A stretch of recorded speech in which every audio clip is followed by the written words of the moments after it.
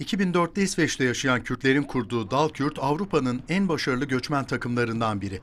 Armalarında kullandıkları Irak Kürdistanı bayrağı onlara neredeyse bir milli takım popülerliği kazandırıyor. Yaklaşık 600 bin kişinin takip ettiği Facebook sayfaları, İskandinavya'nın en büyük kulüplerinin sayfalarından bile daha popüler. Kulübün kurucusu Ramazan Kızıl köklerini unutmuyor. Yakın zamanda IŞİD saldırıları altındaki Kobani'den Suruç'a sığınanlara yardım ulaştırdı. Döndüğünde İsveç Futbol Federasyonu'nun bir maçta Kobani'yi kurtarın pankartı açıldığı için kulübü disiplin kuruluna sevk ettiğini öğrendi.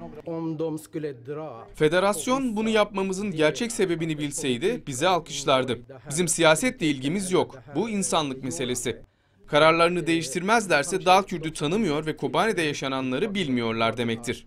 Bizim insan olarak sorumluluklarımız var. Bir insan olarak üzerime düşeni yapmamı kimse engelleyemez. Nokta. Kobani'deki insanlara destek vererek çok iyi bir şey yaptık. İnsanlar bu kulübün Kürtler için ne ifade ettiğini anlamıyorlar. Bizim için Kürt kimliğiyle bir şeyler yapabilmek her şeye değer. Taraftarlarımız için de. Taraftarlarımızın yarısı aslında futbolla ilgilenmiyor. Onlar sadece Kürt ismiyle, bayrağıyla bir şeyler yapılsın istiyor. Bizim derdimiz bu. Takım kaptanı Peşrev Azizi, kulübün ruhunu yansıtan bir isim. Babası eski bir peşmerge olan Azizi, kulübün okullarda çocuklara eğitim verme misyonunda da rol alıyor. İsveç'in Kürtlere kendi topraklarında sahip olamadıkları tanınma hakkını verdiğini düşünüyor. Dalkürt alelade bir kulüp değil.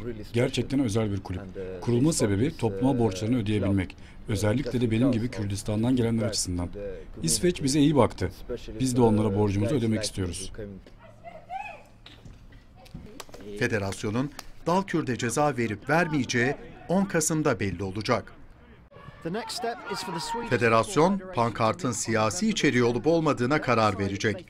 Kulübe 68 bin dolar para cezası verilebilir. Kulüp, ana vatanlarındaki insanlara destek olmalarının ahlaki bir zorunluluk olduğunu söylüyor.